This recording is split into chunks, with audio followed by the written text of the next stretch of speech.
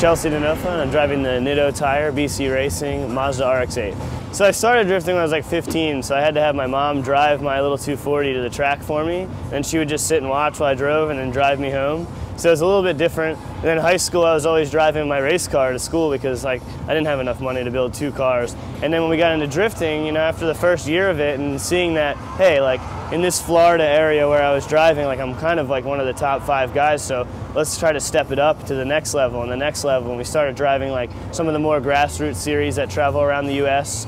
Um, and then we kind of stepped into Formula D this year because we feel like we were really ready after winning two XDC championships the last two years. Um, this year we jumped into it full force, and I think that uh, waiting as long as we did to get in there really allowed us to be now like already sitting top 16 our rookie year. So we're pretty stoked.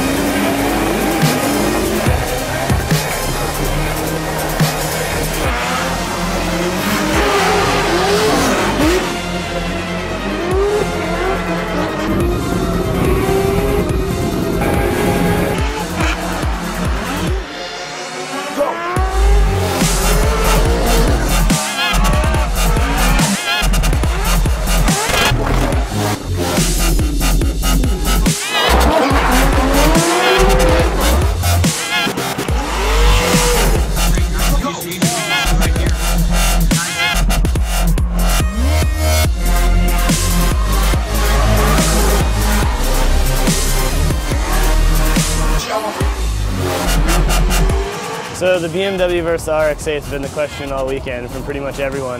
The BMW, since I built it and have been like R&Ding that car from the ground up for the past like four years, I know every single millimeter and inch of the car. Like when the car doesn't do something right, I know exactly what to do or exactly what to change in my driving style.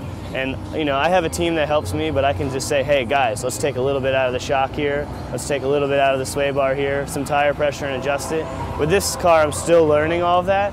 But like since we've tested with this car and driven, every little thing that we've done to change and make better has drastically made a difference in the drivability of the car. So, you know, this car is set up to do a lot more than my BMW was able to. And I think that could be a budget thing as well. You know, we kind of figured it out over the course of four years with my car. And in this car, we're, you know, hey, let's adjust the shock one notch. Boom, it's there. It feels great. Like it's, it's that little bit more because the chassis is more refined, the car is more refined, the power band is larger, so we can really make those small changes and have a bigger effect than the BMW had.